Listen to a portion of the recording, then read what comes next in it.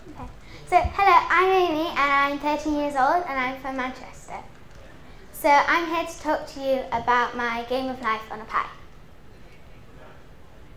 So, how did I get interested in programming?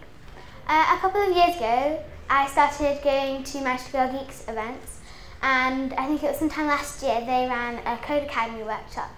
And after that, I went home and I continued learning HTML and then and so I went to YRS, which is Young Rewired State, which is where young coders like across the country meet up at different venues and they have a week with mentors and they create a project using open source data. And then at the weekend they meet everybody from across the country, from across the UK, meets up and it's judged. Um, Rob Bishop was one of the judges there. And so after that, I started going to Ben's Raspberry Jams and I started to learn Python, again using Codecademy.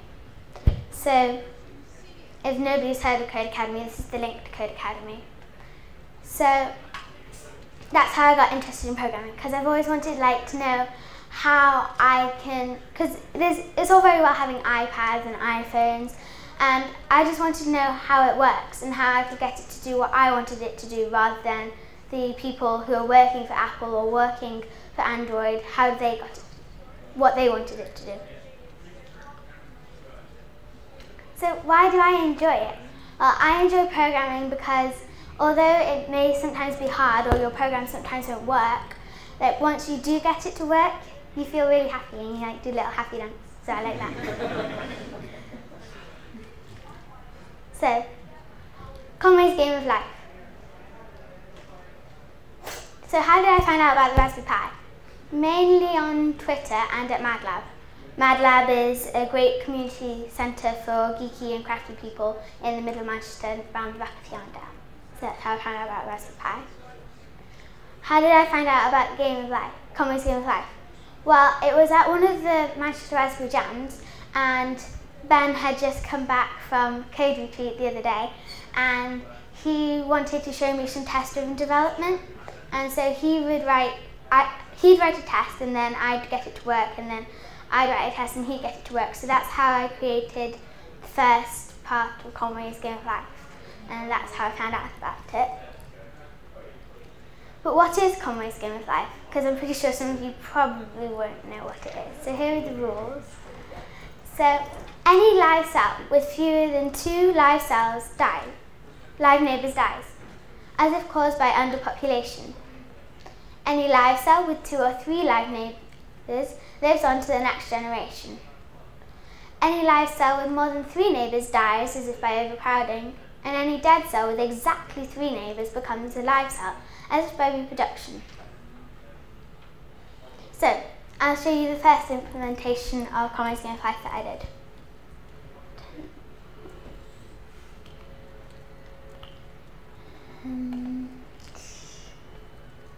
This one. So every time a cell was alive, I get it to print out a smiley face. So that's the first implementation. And okay, then the second implementation, let me just control C that. Stupid thing. Not working. right, there we go. And this one. And then I got it so as a screen, a small screen was shown and it plotted a coloured pixel if a cell was alive. But I thought that was a bit small because you can't really see it.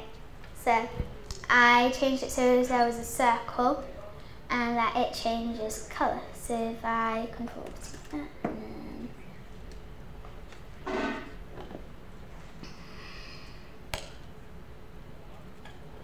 So this one changes colour and it does, and it um, draws a circle if the cell's alive. So yeah, so that's what I did on the computer, but I decided that perhaps having it just on the computer wasn't enough. I wanted, say, to have LEDs light up. So I created this. So a Raspberry Pi controls an Arduino which lights up the LED matrix can show you a video of it working because it needs to plug into a screen, which I don't have with these. So this is a video of it working. So the Raspberry Pi use, um, does the Conway's game of life and it works out which cells should be alive or which cells should be dead. And it then sends a binary message to the Arduino, which then works out how to display it onto the LED matrix.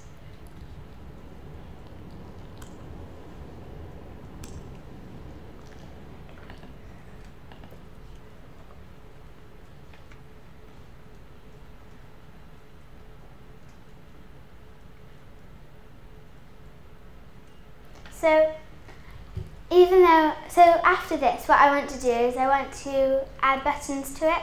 So as maybe you can choose the beginning pattern, because at the moment it's completely random. So, and make it more interactive and maybe explain what it's doing because to people who don't know what Conway's Game of Life is, it just looks like a random pattern, which it's not. Or may, and also an idea that Mr. Pierce had was to have it so it's like instead of just showing a circle and then it disappearing when it's dead, if you have like maybe a cell because it's about cell, it's like a cellular simulator. So you, then you have cells and you have different states of that cell. So if it's been dead for one generation, then it's a little bit decayed, or if it's been dead for 10 generations, there's like hardly any of it left. So that's something else that I want to work on. So what next? Well, what I'd like to do is maybe incorporate Twitter into something or an idea that one of the STEM ambassadors had who was involved with the Sunflower Project.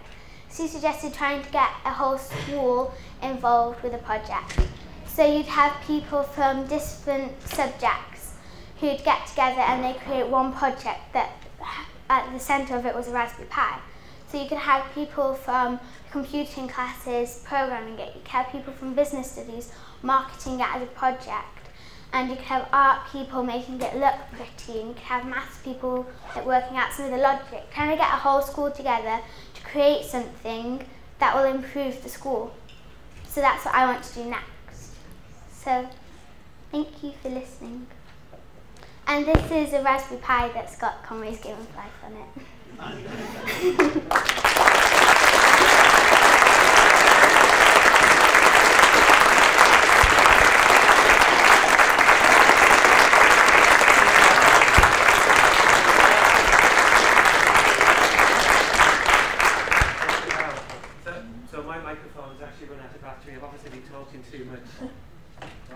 Press the switch. Oh, it's gone red.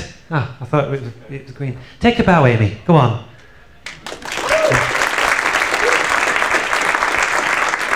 So, what's, what's great is Amy very quickly realised she had a talent for doing this thing.